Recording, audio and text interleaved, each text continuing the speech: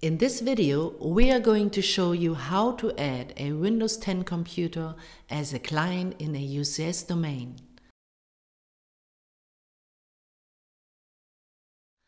At first, we need to prepare our server. For this, we require additional software.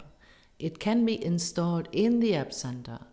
The Univention App Center is the platform for the installation and administration of business applications in UCS domains. After the installation process, all apps are ready to use and integrated in the existing IT infrastructure.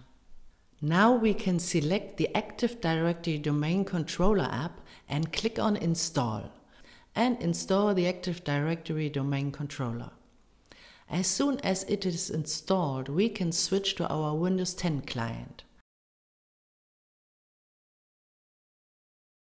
At first, we must switch the DNS server on our Windows computer to the DNS server of our UCS domain, if not already done.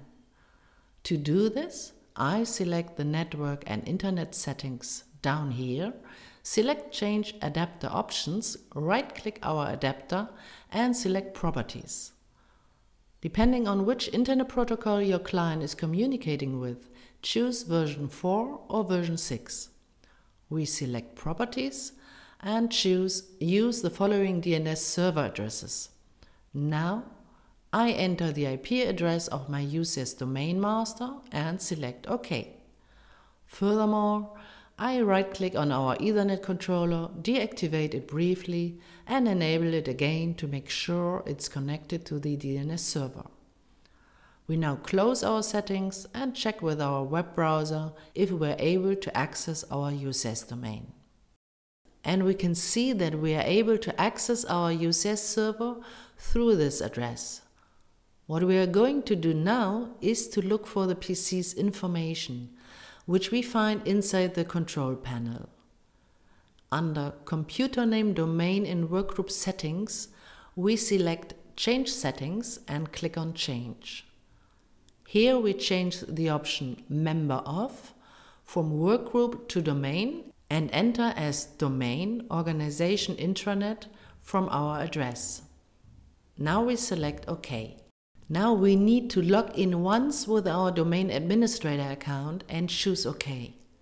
Shortly after, the message Welcome to the organization intranet domain shows up on the display. We select OK to close it. The computer needs to be restarted now. This is what we are going to do. Once the computer has been restarted, we can log in with a user of our UCS domain. If you have any further questions, please have a look at the official documentation. This was a short instruction on how to add a Windows 10 machine to your UCS domain. You can find more information and the UCS download at univention.com. Stay up to date and subscribe to our channel for more tutorials about UCS. Thanks a lot.